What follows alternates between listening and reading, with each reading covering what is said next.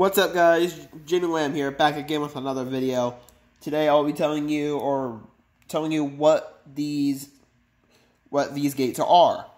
I, I call them hanged gates, but in reality they're called hinged gates. If you guys want to friend request me on Roblox, this is my alternate new account. So, for like uh, crossings that are underneath overpass, they use these gates, or like for like power lines or something like that. And something that the gates, ordinary gates like these, can't touch, like underneath an overpass. Now, yes, they have, they have the original uh, lights for those, but um, but as you, see, as you can see here, um, they have a special tool where they have a hinge to make the gates go up and down on one end. Like that. So it has like a little string, which I'll, I'll pop out my pop socket here just right now and lift up the gate. So once the gate is deactivated, the string will make the gate flop around. Yes, there's two gates on that. I had to use it for this. Now, if it's activated, however, the, the string tenses up, and then once it hits almost hits the ground, it pulls it, and this part, like right here, it pulls it, makes the end of the gate swing up and down.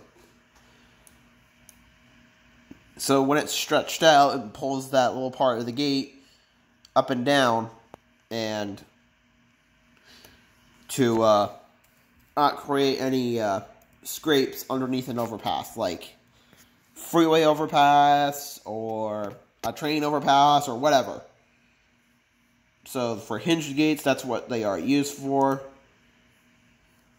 Like right there, I'll see if I can do this.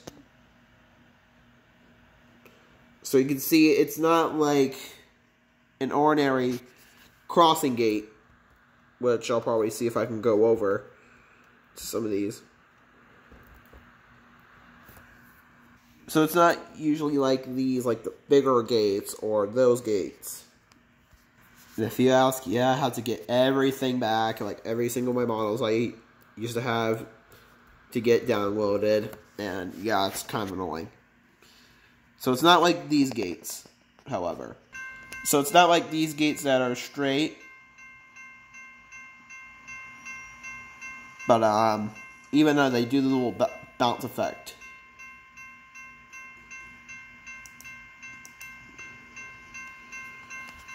But even though, let's wait for that bell to turn off.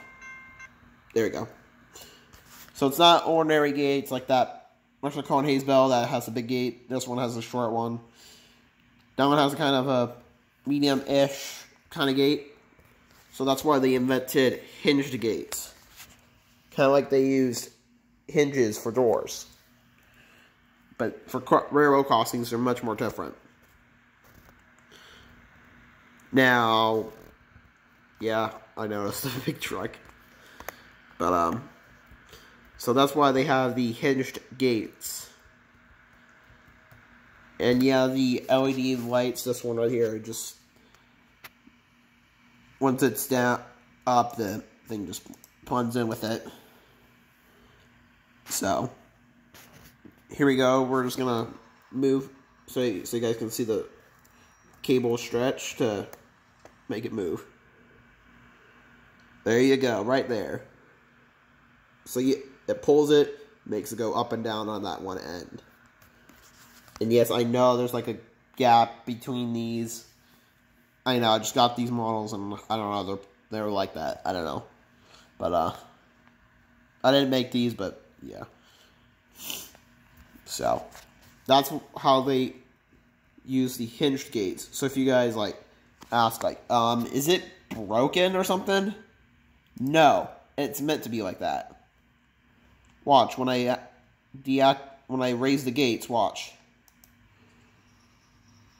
So it's meant to be like that. So, like, if your kids say, Mommy, Daddy, the gates are broken, just say, No, it's supposed to be like that.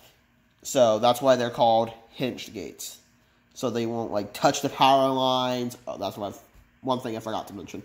So they won't touch power lines or underneath an overpass or something like that. So that's why they invent those hinged gates.